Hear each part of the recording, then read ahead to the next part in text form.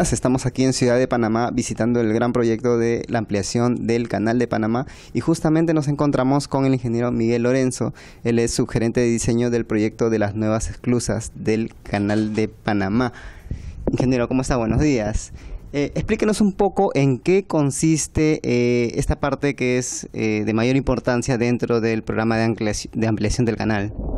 Bueno, dentro del programa de ampliación del canal de Panamá, la construcción de las esclusas es definitivamente el componente más grande. Estamos dentro de un programa de 5.250 millones de dólares. Nuestro proyecto de esclusas eh, equivale aproximadamente a 3.4 billones, o sea, 3.400 millones. Es el, proyecto más grande dentro del programa. ¿Cuál es el diseño de, esta ah, parte de, la obra? ¿no? Bueno, el, el proyecto de las esclusas se está haciendo por una modalidad de entrega de diseño y construcción. O sea, en, eh, cuando se eh, empezó la etapa conceptual del proyecto, la ACP hizo un diseño de concepto para poder eh, hacer estimados de costo, tener idea de factibilidad de construcción y demás. Ese diseño se le entregó al contratista y el contratista entonces está encargado de hacer todo lo que es el diseño final, el diseño de detalle de la obra. Eh, el diseño en sí pues es muy complejo, lleva, aquí hay componentes de todo tipo, tenemos una, un componente estructural muy grande porque son estructuras de concreto enterradas, tenemos un componente electromecánico bastante grande porque al fin y al cabo pues esto es un canal de esclusas y requiere pues mucha, mucha estructura hidráulica, muchas compuertas, muchas válvulas, eh, un sistema de control eh, de alta tecnología que permita operar todo esto de manera eficiente. Tenemos también el tema de la alimentación eléctrica de la esclusa, que es, eh, pues muy importante. Eh, todo lo que es comunicaciones, telecomunicaciones, eh, tanto los, sistemas de redes como las comunicaciones con los sistemas de control. pues en fin, aquí hay, hay de todo para todos, hay un poquito de todo. las nuevas esclusas, el tercer juego de las nuevas esclusas, tienen una variación respecto a las dos que ya vienen funcionando, a las dos líneas ¿no? anteriores. ¿Qué son las tinas? Explíquenos un poco en qué va a consistir el funcionamiento de estas.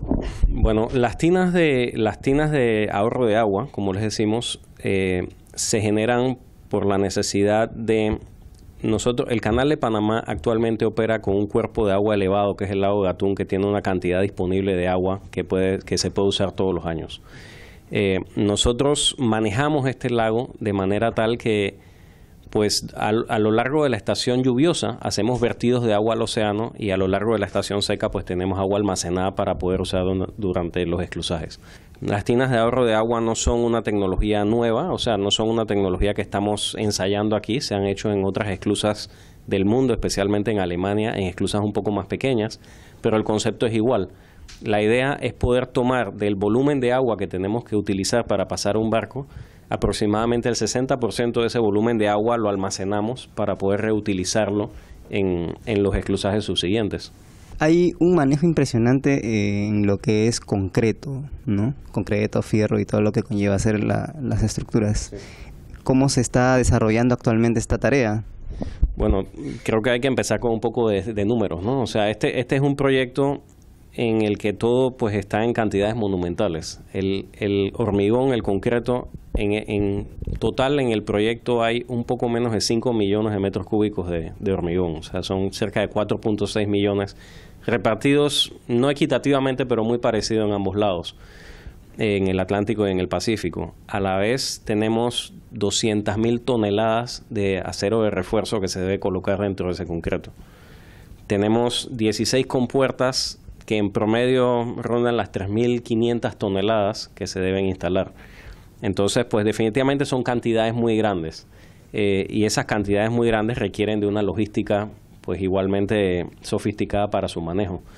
Actualmente, bueno, y, como dije, o sea, esto está en manos de un contratista ahora mismo, la logística está en manos del contratista y el contratista eh, para poder producir estas cantidades tan grandes de concreto ha colocado en cada sitio plantas de, de, mm, producción de concreto que tienen capacidades en, que exceden los 500 metros cúbicos por hora en cada lado. Eh, en adición a eso, en el lado pacífico tenemos las plantas de trituración, porque todo el agregado que se requiere para hacer este concreto sale de las excavaciones del sitio.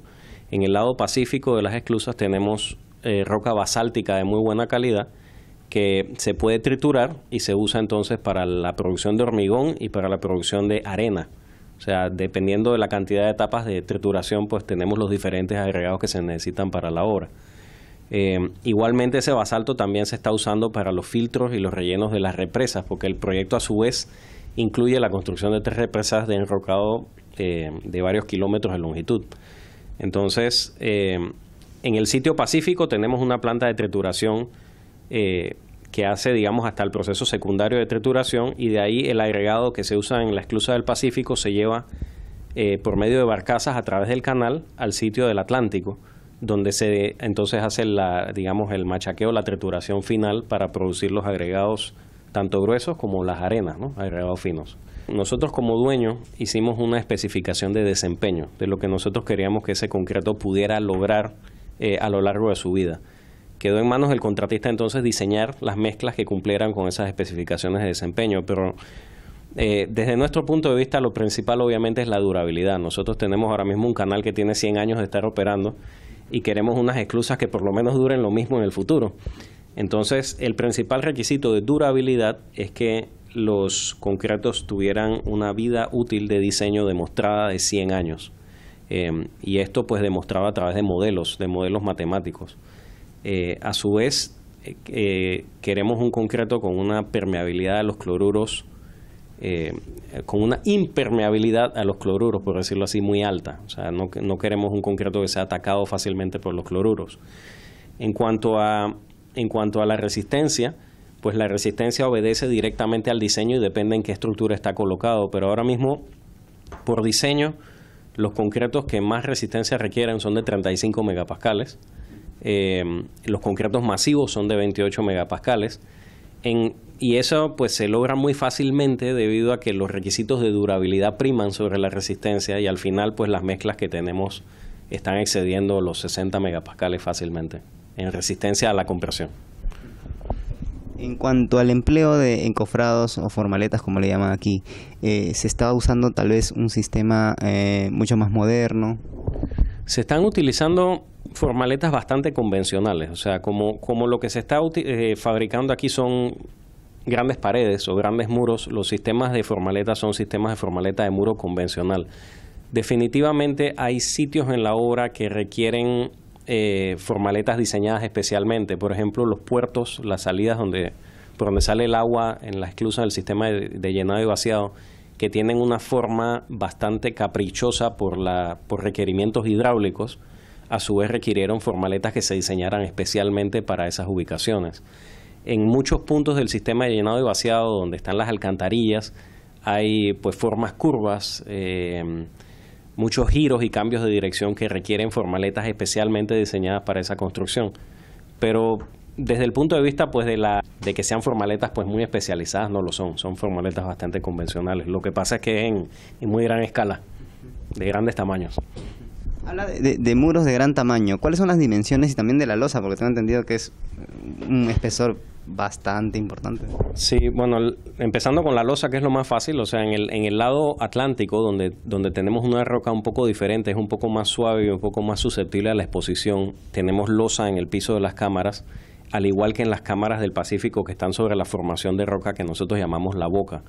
Los pisos o las losas de piso de esas cámaras son, tienen un espesor de un metro eh, y ese metro pues viene dictaminado por diferentes razones, una de las cuales es que la esclusa eh, a lo largo de su operación tiene niveles de agua que varían.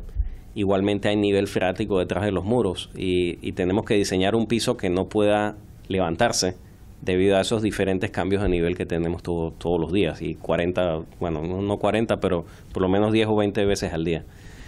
Eh, en cuanto a los muros, pues los muros, las cámaras, los tamaños de las cámaras, para empezar, tenemos tres cámaras que en su configuración más corta tienen 427 metros de largo y en su configuración más larga tienen 488.